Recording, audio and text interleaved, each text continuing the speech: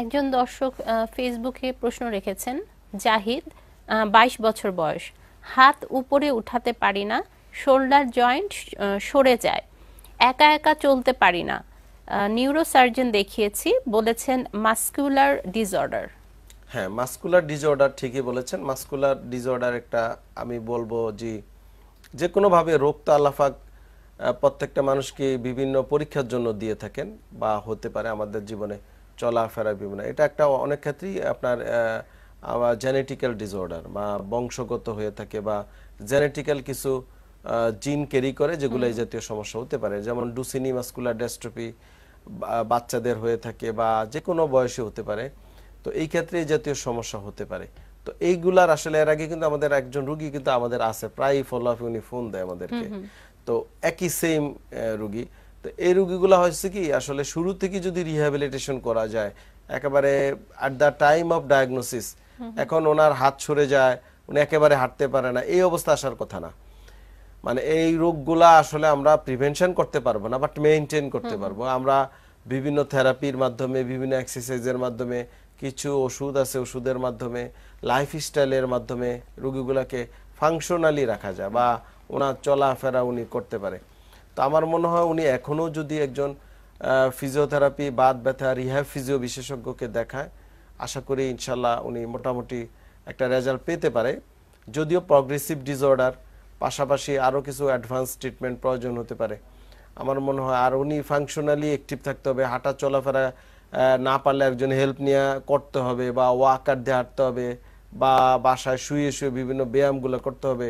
না হলে কিন্তু আরও ডিটোরিয়েট করতে পারে মানে খারাপের দিকে চলে যেতে পারে। এটা কিন্তু ফাংশনাল বিভিন্ন এক্সারসাইজ যেমন আমরা বলি বেলুন দিয়ে হাত মানে এক্সারসাইজ করানো বাসায় উঠানো নামানো এগুলা কিছু মানে বেসিক বাসায় মুভমেন্ট করা হাঁটা চলাফেরা করা আরেকজনের হেল্প নিয়ে হোক। পারে না শুয়ে রইল বা পারে না বসে থাকল তো তখন কিন্তু সে আরও খারাপ হয়ে যাবে এবং আরও উনি ডিজেবল হয়ে যেতে পারে। আমাদের সাথে একজন দর্শক অপেক্ষা আছেন ফোনটি নিয়ে আচ্ছা। হ্যালো আসসালামু আলাইকুম দর্শক কে বলছেন? কোথা থেকে বলছেন?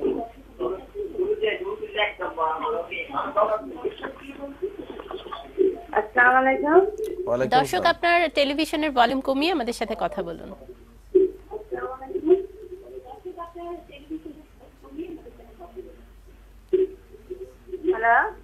আমরা সবাই শুনতে পাচ্ছি আপনার সমস্যার কথা বলুন। হ্যালো? জি বলুন আমরা শুনতে পাচ্ছি। হ্যাঁ আমার হাতে আজকে প্রায় তিন তারিখ ব্যথা পাইছিলাম। হুম।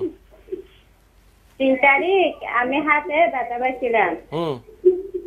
এখন হাতের ব্যথাটা মানে কমতেছে না। হুম। এখন আমার ডাক্তার তিনটে দেখাইছে এখন কোনো মতে মানে ব্যথা কমতেছে না আমার। কি বলেছে ডাক্তার সাহেবরা? আপনাকে কি সমস্যা বলেছে? ভেঙে গেছে? আমাকে ওনারা মানে গরম পানি দিয়ে শাক দিতে বলছে ওষুধ দিছে আর একটা মানে মলমের মতো একটা বাম হুম। হাতের কোথায় ব্যথা পেয়েছেন আপনি?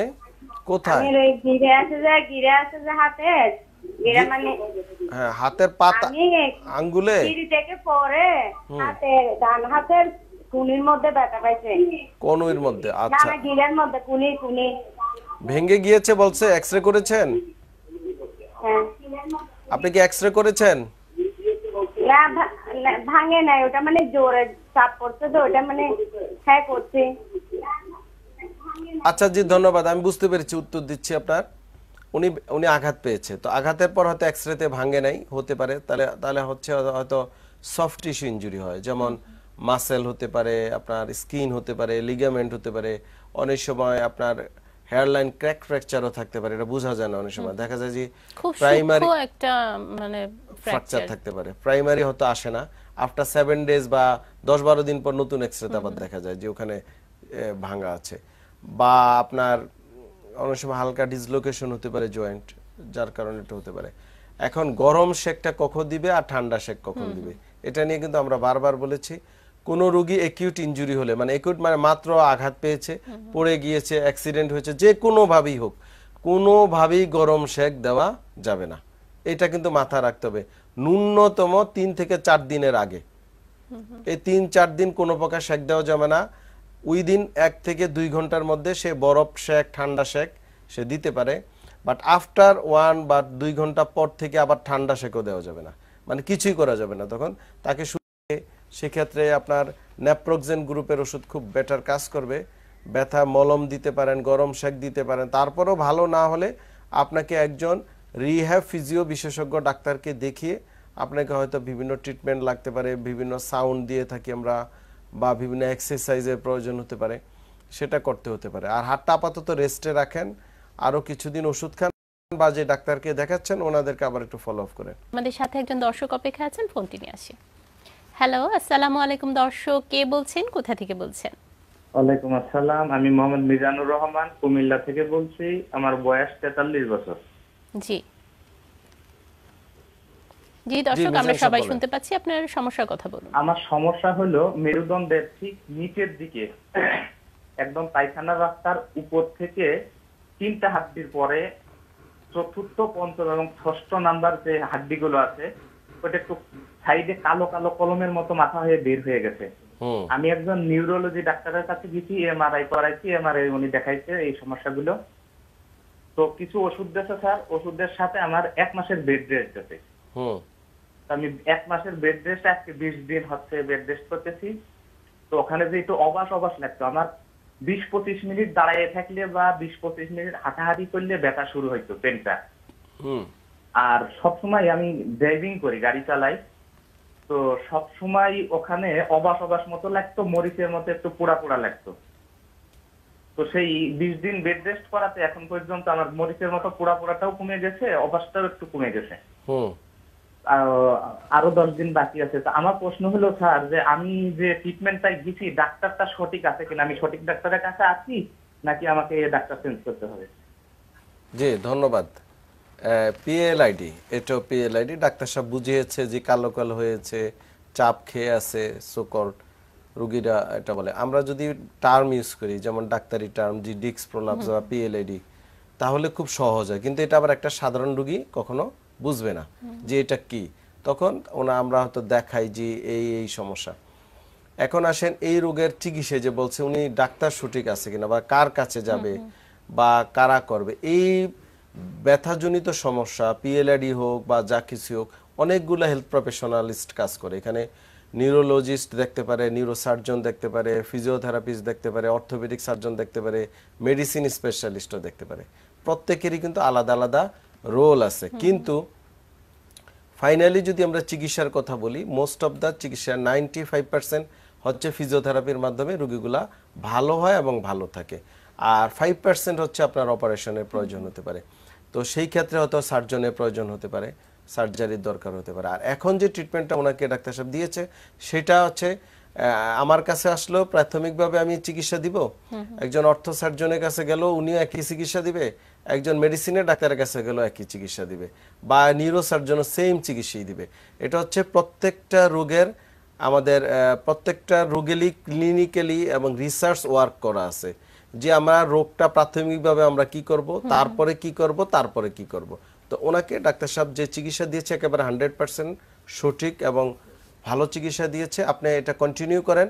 আরও দশ দিন আপনি রেস্টে থেকে ওনাকে ফলো আপ করেন। দেখেন উনি কি বলে এবং আপনার শারীরিক কন্ডিশনের উপর নির্ভর করে। আর যদি আপনি আরও অ্যাডভান্স কিছু করতে হয় তাহলে ডাক্তার সাহেবকে বলেন উনি আপনাকে ব্যবস্থা করবে বা ফিজিওথেরাপির চিকিৎসকের কাছে উনি রেফার করবে বা দেওয়ার চেষ্টা করবে।